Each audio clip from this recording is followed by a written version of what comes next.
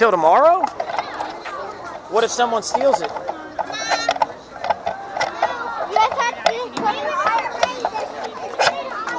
I'll run it by Steve, see what he thinks.